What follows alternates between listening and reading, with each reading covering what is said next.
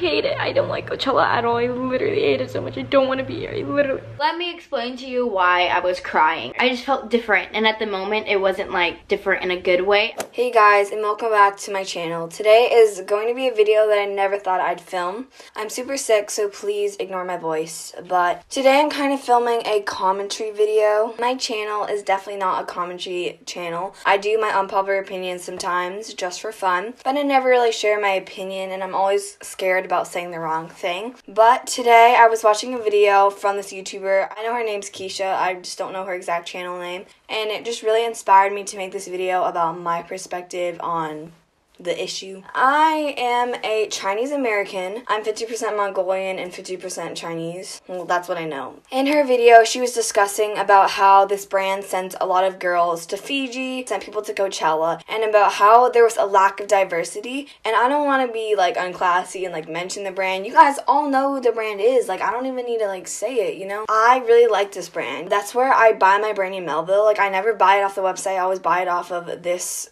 app because there would be free shipping. I use this app. But today like really made me want to boycott this app, made me think more. So this company has never really been known for their diversity. For Coachella, they kind of just threw a few black girls in, uh, with maybe like one Asian girl in. In this video, she was showing clips about about the comparisons of their rooms Vereena and some other girls that were part of the minority were literally in a room that was a lot less nice than the room that like Hannah, Summer, they were all staying in. So those four girls were in a room by themselves and it didn't even look like a room. No shade, it didn't look like a room. It was like it was it looks like it was connected to the living room or kitchen or something like that. I just met Eris. She's literally the sweetest ever. Hey.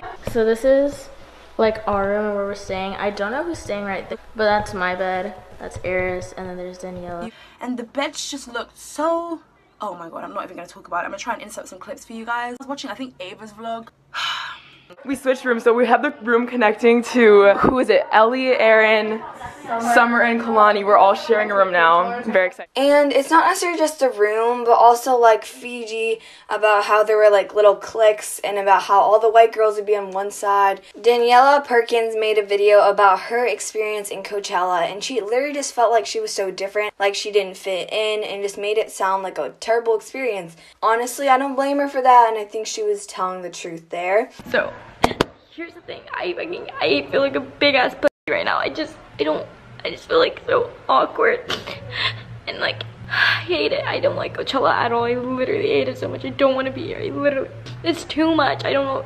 I feel like I don't know anyone, and it's just I feel so uncomfortable. It's not even fun. Let me explain to you why I was crying. I just felt different, and at the moment, it wasn't like different in a good way. I just felt awkward. Like I felt awkward to be there. I just want to be clear about the reason why I'm making this video. It's because I am pretty young, but I love YouTube. I've been doing it for four years, but it's definitely one of my passions and something that I would like to do as a job. And just seeing that a brand that is so popular is something that I want to support, like not really accept other races as much as they probably should and other sizes. You might be like, why are you talking about this with sizes? And maybe right now I'm a size like 2 to 4, but I'm a kid. I'm still growing. And I don't think I'm necessarily going to be an Emma Chamberlain body size. And I feel like all the girls that are the most promoted or the ones that stay in the same room, they're all very slim, they're all white. It can just be discouraging as a 12 year old girl that's Asian. I don't think about my race that much, but this video kind of made me think about it. I want to make my videos aesthetic, and to be honest, I do want to fit into that little clique or that little niche on YouTube where you try juice cleanses and you do vlog morning routines. Like, I want to be part of that. To be honest, I feel like sometimes I don't fit into that box. Sometimes I like want to force myself to fit into that box. I just don't know if anyone would click on that video if an Asian girl was in the thumbnail. And I feel like everything I'm saying is sounding harsh, but like these are some of the thoughts that I have to myself, but I'm just sharing them online right now. I just hope that this brand for future trips can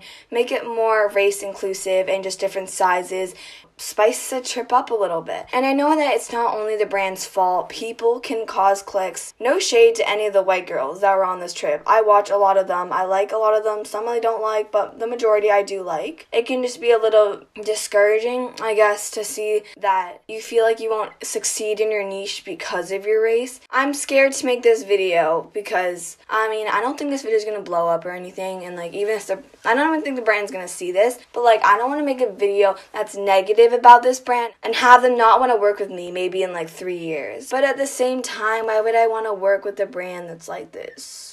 I don't know. Literally yesterday, I was editing my description box and I put that company's little discount code thing in my description box because everyone that's on there can get a description code. It's like a give $5 and you get $5 because I was like, oh, this will be good. It's kind of like another link or something that I can put into my description box. And I quickly deleted it today when I just saw this video. And I've always had thoughts about do- having the same demographic of girls. And I understand that these teenagers, you know, aesthetic teenagers are the thing, you know, quirky teenager. Like, I know that it's the trend on YouTube right now. I could like see why they're inviting who they're inviting. But when I saw that video, I was kind of just like reminded like I just like can't support them. Oh my gosh, I feel like I'm making no sense in this video. I really didn't put any notes. I literally just got this idea to film this video literally an hour ago and I was just like, I just can't wait. And I don't want to wait. Wait till I regret this video. I think I'm just gonna have this video out there and if I get insecure I might private it.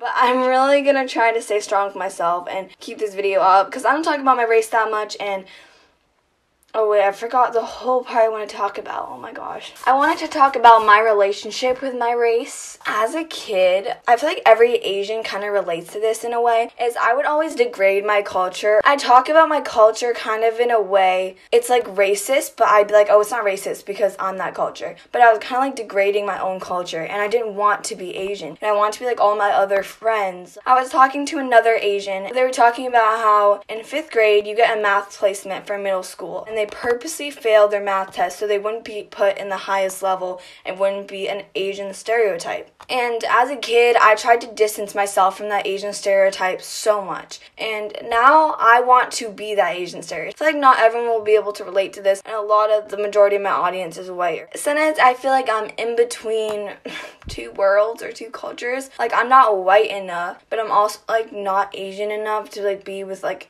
Asian stereotype people. I was literally at this dinner with my family and One of the kids there calls me a banana, which means that you're yellow on the outside and white on the inside. And he didn't necessarily say this with like bad intentions. I don't know what Chinese kids are like in other people's areas, but a lot of them that I meet that are like stereotype Asians can kind of be negative. So I didn't really take it that personally. But like people can realize that I'm a little whitewashed, but I also don't feel white enough. I wanted to be the Asian stereotype because I don't want to be looked down as a stupid Asian. So I wanted to be like, oh, I'm gonna play piano, do so many languages. Like, like,